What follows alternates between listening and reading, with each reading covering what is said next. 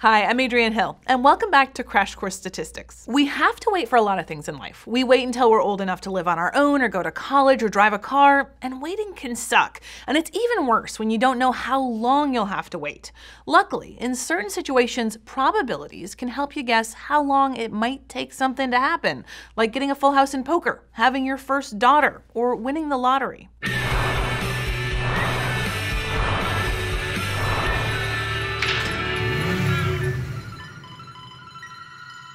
For example, you're eating from a box of Bertie Bott's every flavor beans during a fun, if risky, hangout with your friends. These jelly beans have some flavors that are awesome, like cherry and peppermint, and some not so awesome, like grass or boogers or vomit. Yeah. The problem, you don't know if you're gonna get a good or gross flavor until you eat it. And you know that your affinity for this game will go away if you're ever unlucky enough to come across one of those vomit flavored beans. Cinnamon. It's delicious. But how likely is it that you'll be able to eat four of those odd jelly beans before you get that dreaded vomit flavor and decide to get new friends? Turns out there's a formula to figure this out, the geometric probability formula. This formula comes from the geometric probability distribution, which looks similar to the binomial probability distribution that we talked about in the last episode. But they do something a little bit different. Geometric probabilities tell you the probability that your first success will be on your nth try.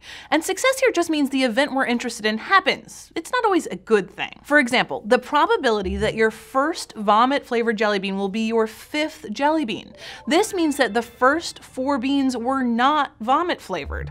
Let's pretend the probability of getting a vomit flavored jelly bean is 5%. Then there's a 95% chance that you'll get any other flavor. As you might remember from the multiplication rule, our chance of getting four non-vomit beans in a row is 0.95 times 0.95 times 0.95 times 0.95 or 0.95 5 to the fourth. The probability of then getting the vomit bean is 0.05. So altogether, the probability of getting four non-vomit beans and then one vomit flavored bean is this, or about 4.07%. In a more general form, the geometric probability formula says the probability of the kth try being your first success is the probability of failure to the k minus 1 power times the probability of success to the first power, which is what we just did in the vomit jelly bean example. The probability of the fifth try being your first success was the probability of 5 minus 1, or 4 failures, and then 1 success. If we graph the geometric probability for all possible values of k. We get a geometric distribution that shows us the probability of each trial being the first time we get a success. For example, let's look at a section of the geometric distribution for finding the probability that each trial is the first time we'd eat a vomit flavored jelly bean. You'll notice that I said a section of because the geometric distribution could go on forever technically we could eat thousands of Bertie's beans and still not find any vomit flavored ones. In fact, that's pretty much what I hope when I eat them. It's just very unlikely, which we can see on our graph. As K increases, the probability of that being your first success gets incredibly low, mostly because you'll probably have found the flavor that shall not be named already. Let's look at another example. You're finishing up basketball practice and your coach announces that you'll have to make one free throw before you can leave. You're really really bad at free throws, and you have a 20% probability of making any given shot. So we can calculate the probability that the first shot you make is your 10th shot. Plugging everything into our formula, we discover that the probability of this particular scenario is this or about 2.7%. The geometric distribution for this example looks like this, which gives us all the probabilities that a certain trial is the first time you make a shot. But you'd also get to leave if you made it before your 10th shot. To calculate the probability that you'll have to shoot 10 or fewer free throws before you make one, we can add up all the geometric probabilities from 1 up to 10. This essentially tells us the probability that it takes k or fewer tries before your first success, which you might remember from when we talked about cumulative distributions. A cumulative geometric distribution is incredibly useful because often when we ask questions about how long we have to wait for a certain outcome, we want to consider whether it happens before the nth trial. Like we said, whether it's the first or 10th shot, you still get to leave practice. And it turns out there's an 89.3% chance that before your 10th shot, you will have made a basket. That makes for a total of about 92% chance that you'd make it on or before your 10th shot. If you want to find the average number of shots you need to take before you score, you can use the geometric distribution to calculate its mean, which is 1 divided by the probability of success, or this. The mean number of shots we'd need to take before we made our first would be 1 over 0.2, which is 1 over 1 fifth, or 5. And this makes some sense. The smaller the probability of success is, the more tries we'll need on average before we get a success. For example, if there's only a 10% chance that we'd make the shot, we're really, really bad basketball players. We'd now need to try an average of 1 over 1 tenth, or 10 throws, before we sink that perfect shot. The mean and cumulative frequency of the geometric distribution can help you weigh your options. Say you're at Target and you see the display of Pokemon cards. You really want that Pikachu card. But let's say that the probability of getting one is only 1 in 200. You have enough money to buy four packs of cards or Star Wars Episode 6 on Blu ray. Star Wars guarantees Ewoks. Pokemon means maybe Pikachu. You're really into small, cute animals. Small, cute animals with static ability are even better. You want that Pikachu. So is it worth it?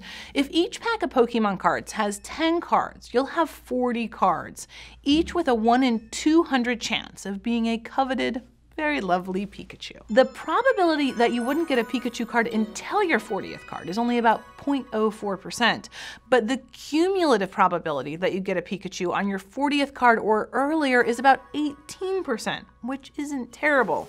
So now you're left to decide whether it's worth it to forego an evening with Ewoks for an 18% shot of getting your beloved Pikachu. And that part is something statistics can't decide for you. Before we finish up probability, let's look at a really fun statistical paradox, the birthday paradox. There are 365 birthdays that anyone can have, and we're not gonna count leap days to keep things simple here. So let's say there are 20 people in your classroom. What's the likelihood that there would be any shared birthdays? To me, it seemed like it'd be pretty low. Let's assume that there's an equal probability of having a birthday on each day of the year. That's not quite true, but it's close enough. The first person we look at has a 100% chance of having a unique birthday, simply because we haven't looked at anyone else's birthday yet. The second person also has a pretty high chance of having a unique birthday. They could be born on any of the 364 days on which person number one wasn't born. So there's a 364 out of 365 chance of having a unique birthday. Similarly, person 3 can be born on any of the 363 days on which neither person 1 nor person 2 are born. So there's a 363 out of 365 chance that they'll have a unique birthday as well.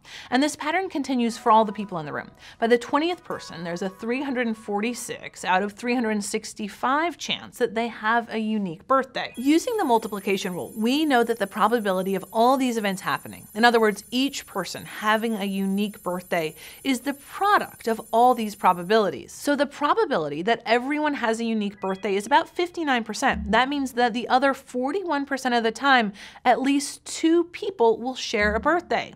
Once you get up to a group of 70, there's a 99.9% chance that someone will share a birthday with someone else. This is one of those instances where statistics trumps my intuition, and a good reason to be prepared for the possibility of double cupcakes if you have a big class. Probabilities are important. They're things we use all the time. When you're at your local diner and see those super cool crane machines, you might estimate the probability that you can snag that sweet stuffed otter by the time your food arrives, and whether it's worth your time and money to even try. Or you can use them to figure out that on average you'll probably have to wait a long, long time before you win the California State Lottery.